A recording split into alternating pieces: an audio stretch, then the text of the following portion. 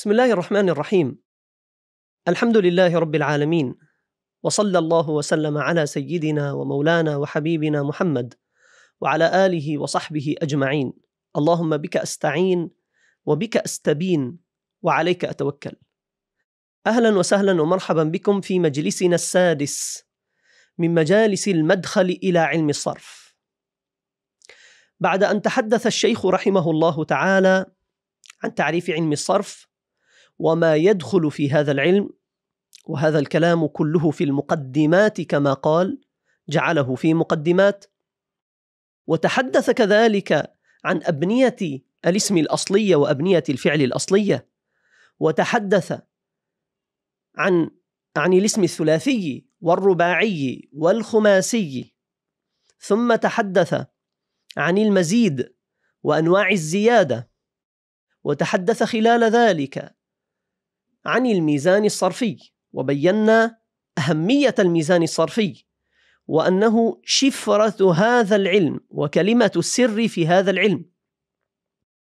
ثم تحدث بعد ذلك عن المشتقات وأن المصدر هو الأصل الذي تصدر عنه جميع المشتقات وتحدث عن مصادر الثلاثي القياسي منها والسماعي. شرع اليوم في الباب الأول. فاليوم بعون الله تعالى نشرح الباب الأول من أبواب هذا الكتاب عنوان الظرف في علم الصرف والباب الأول في الفعل. قال رحمه الله تعالى هو ثلاثة أنواع ماض كقام وأقام ومضارع كيقوم ويقيم وأمر كقم وأقم.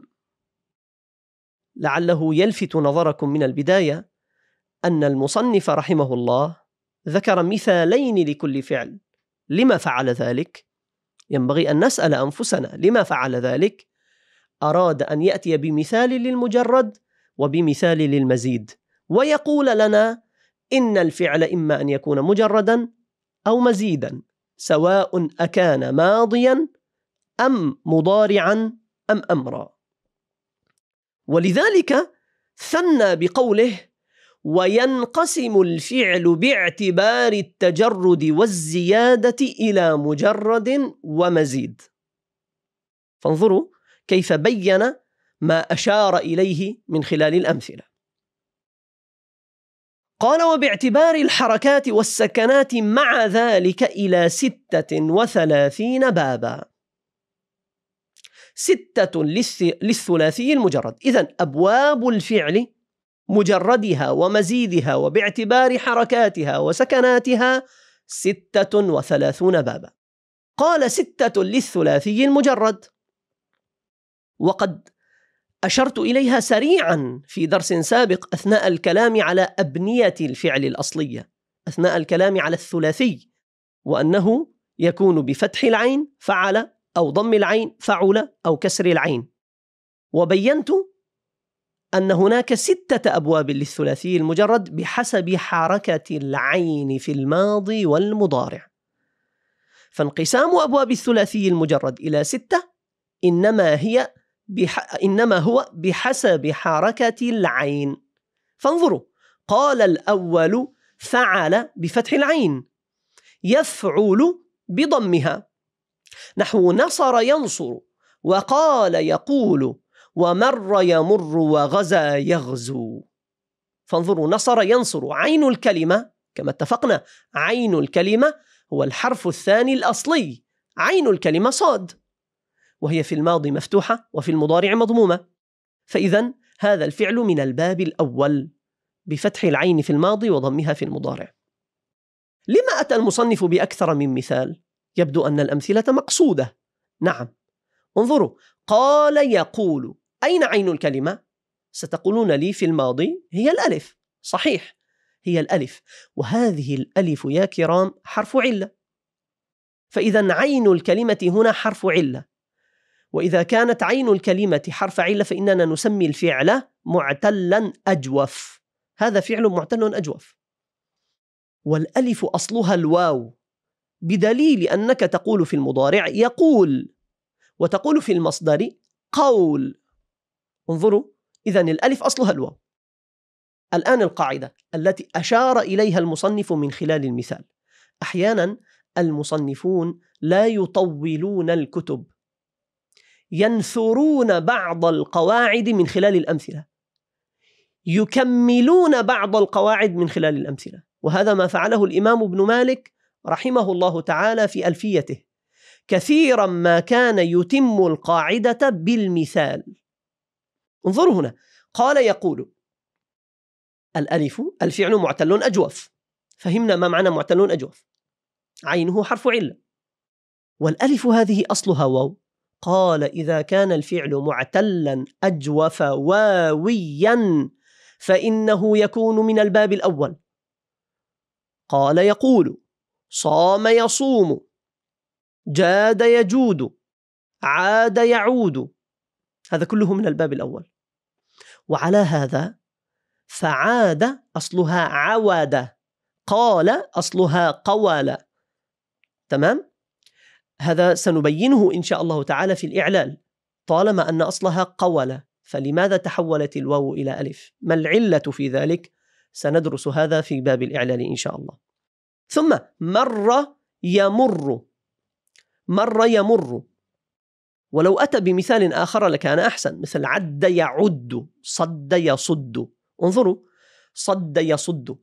هل هل الفعل صد متعد أو لازم؟ صددتك. عددت المال. شددت الحبل. وهذا الفعل انظروا شد. عد صد مد رد مر. عينه مثلا مر عينه راء. ولامه راء. عينه ولامه من جنس واحد. هذا الفعل يسمى مضعفا. مضعف الثلاثي تكون عينه ولامه من جنس واحد. نفس الحرف. مرة راء وراء. عد دال ودال صد دال ودال وهكذا. إذا كان الفعل مضعفا متعديا فإنه يكون من الباب الأول. وعلى هذا مر يمر أصله مرار يمرور. مرار فتح العين. يمرور بضم العين في المضارع. ثم حصل إدغام سنتكلم عليه في التفصيل إن شاء الله تعالى في المكان الذي خصصه المصنف رحمه الله. غزا يغزو. غزا يغزو. انظروا بفتح العين في الماضي وضمها في المضارع. غزا. لامه حرف علة. والألف هذه أصلها صار الأمر يسيرا عليكم. أصلها واو. أصله غزا و. كيف عرفنا أن أصلها واو؟ قلب الكلمة. أنت الآن مع علم التصريف. صرف الكلمة. غزا يغزو الغزو غزوت. إذا الألف أصلها واو. ولذلك إذا كان الفعل معتل اللام وألفه أصلها واو فإنه يكون من الباب الأول. غزا يغزو. رجا يرجو. غذا يغذو. كسى يكسو. وهكذا. فإذا صار عندنا الباب الأول. يكون في المعتل الأجوف الواوي. وفي المضعف المتعدي. وفي الناقص الواوي الناقص هو الذي تكون لامه حرف علة الذي تكون لامه حرف علة. يطرد ينقاس الباب الأول من أبواب الثلاثي المجرد في هذا. نحفظ هذا جيدا. وأرجو أن تدونوا الباب الثاني فعل بفتح العين يفعل بكسرها. نحو جلس يجلس وباع يبيع. وفر يفر ورمى يرمي ووعد يعد ووقى يقي ويسر ييسر. جلس يجلس. عينه مفتوحة في الماضي مكسورة في المضارع. والعين هنا هي اللام. عين الكلمة هي حرف اللام.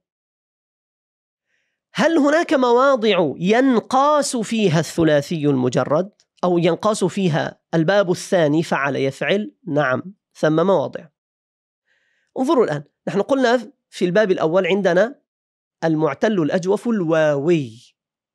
هنا المعتل الأجوف اليائي. باع يبيع. الألف أصلها ياء. فإذا سيكون الفعل من الباب الثاني. باع يبيع. وهكذا. تقول مثلا غير باع يبيع. تقول ماد يميد.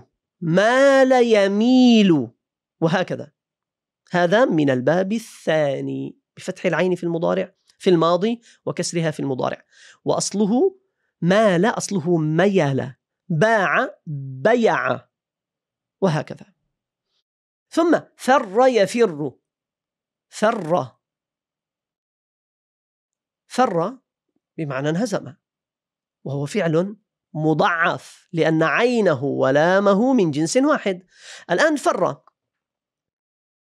هو مضعف متعد أو لازم؟ هل يأخذ مفعولا به أو لا يأخذ؟ ننظر. فرت من قسورة في قوله تعالى لم يأخذ مفعولا به. إذا القياس القاعدة أن يكون من الباب الثاني. فر يفر. شذ يشذ. بفتح العين في الماضي وكسرها في المضارع. نعم. أقول جد يجد جد في الطلب بمعنى اجتهد. جد في الدراسة يجد بالكسر. بفتح العين في الماضي وكسرها في المضارع. وأصله فرار يثرير فعل يفعيل ثم حصل إدغام. وسنبينه في مكانه إن شاء الله. ورمى يرمي. هذا الفعل معتل ناقص. الحرف الأخير حرف علة. فإذا ننظر إلى الألف. هل أصلها واو أو ياء؟ أصلها ياء. رمى. رميت. أرمي. الرمي. أصلها ياء. فإذا سيكون من الباب الثاني. رمى يرمي. هدى يهدي. سقى يسقي. وهكذا. وعد يعد. وعد. هذا أيضا فعل معتل. أين حرف العلة؟ في الأول. ماذا نسمي أول حرف أصلي؟ نسميه فاء الكلمة. فاء الكلمة حرف علة. إذا هذا الفعل معتل مثال. وحرف العلة هنا؟ واو معتل مثال واوي. المعتل المثال يكون من الباب الثاني. وعد يعد. يسر ييسر. هذا معتل مثال يكون من الباب الثاني. أو كانت فاؤه حرف علة. قد تكون فاؤه ولامه حرفي علة. المهم أن الفاء حرف, حرف علة. انظروا وقى يقي. هذا أيضا من الباب الثاني. فتحصل عندنا أن الباب الأول يطرد يعني يكون قياسا في الأجوف الواوي والناقص الواوي والمضعف المتعدي. وأن الباب الثاني يطرد في الأجوف اليائي والناقص اليائي والمضعف اللازم والمعتل بالفاء والمعتل بالفاء. مثل وعد يسر وقى وهكذا. فإذا هذان البابان الأول والثاني.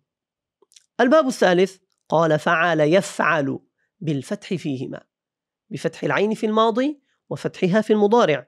نحو نهض ينهض فتح يفتح سعى يسعى وضع يضع.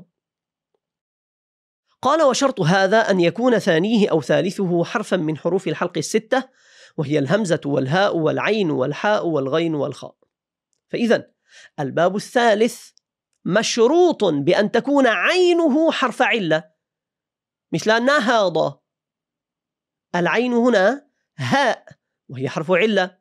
عفوا بأن تكون عينه أو لامه من حروف الحلق. أعتذر. أن تكون عينه أو لامه من حروف الحلق. نهض.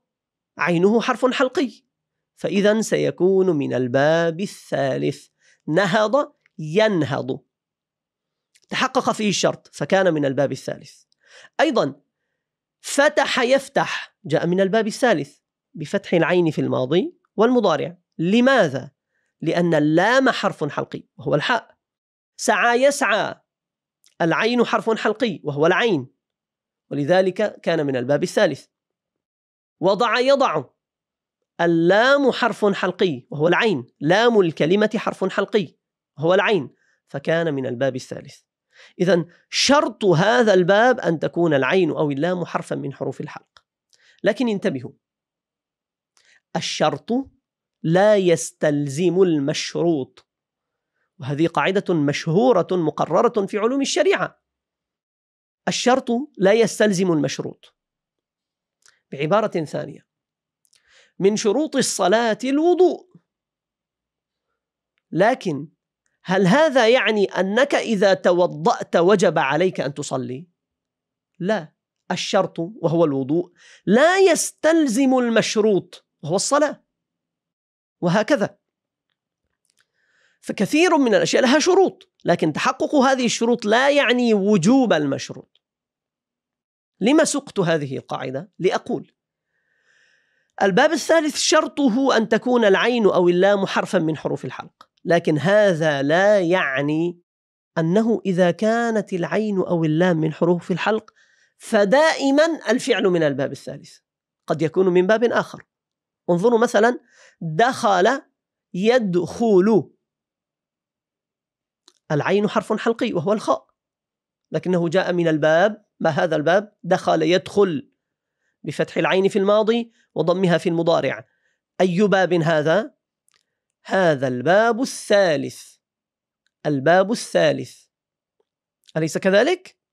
نعم ليس كذلك. الباب الأول. فعل يفعل بفتح العين في الماضي وضمها في المضارع. فالآن يا كرام دخل يدخل تحقق فيه الشرط لكنه جاء من الباب الأول. لا مشكلة في ذلك لأن الشرط لا يستلزم المشروط. نعم. وهكذا. وثمة عديد من الأفعال كانت عينها أو لامها من حروف الحلق وليست من الباب الثالث. الباب الرابع فعل بالكسر يفعل بالفتح. نحو علم يعلم وفرح يفرح وخاف يخاف ووجل يوجل ورضي يرضى وعض يعض. هذا الباب الرابع. مما يأتي الباب الرابع؟ قال وكثيرا ما تأتي منه الأحزان والعلل وأضدادهما. نحو سقم وحزن وسلم وفرح. ومنه الألوان والعيوب والحلى نحو شهب وعور وفلج وبلج. الباب الرابع بكسر العين في الماضي وفتحها في المضارع. علم يعلم.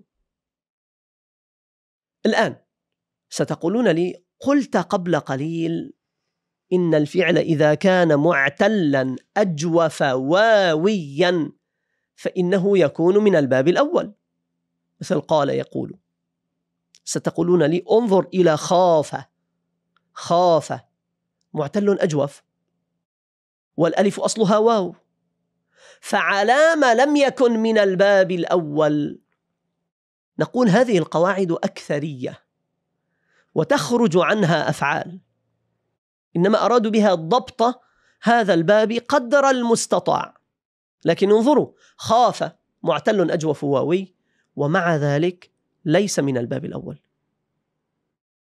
سنقول كيف نعرف أنه ليس من الباب الأول؟ أقول لكم إذا تحولت الألف إلى واو في المضارع فهذا يعني أن الفعل من الباب الأول. قال يقول من الباب الأول جاد يجود ساد يسود عاد يعود مات يموت. فإذا لم تتحول الألف بل بقيت الفا في المضارع فالفعل من الباب الرابع. هذه قاعدة. إذا ثبتت الألف في الماضي والمضارع فالفعل من الباب الرابع. تقول خاف يخاف. الفعل هنا من الباب الرابع. وهكذا. نال ينال هاب يهاب. وفي لغة بعض العرب يقولون مات يمات مات يمات وعلى هذا الفعل هنا من الباب الرابع. كيف عرفنا ذلك؟ ثبتت الألف في الماضي والمضارع. بقي أن نقول إن خاف أصلها خويفة يخاف أصلها يخوف. فعيل يفعل. هاب يهاب هيب يهيب. نال ينال نيل ينيل. نعم وهكذا.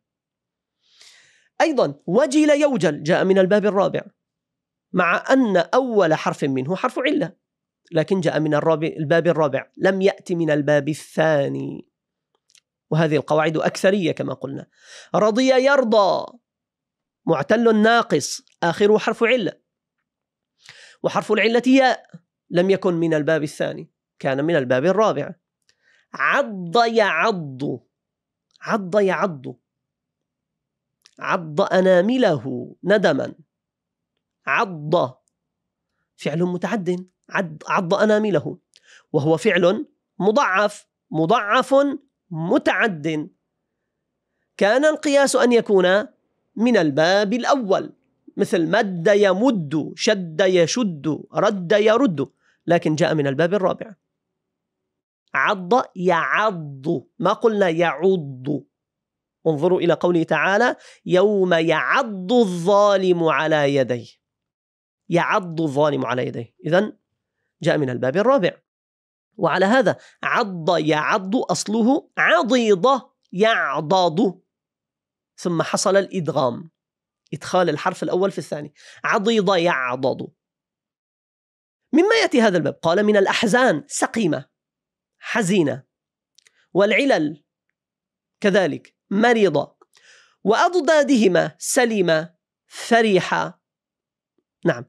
ويكون أيضا في الألوان. تقول حمر يحمر سود يسود. من الباب الرابع.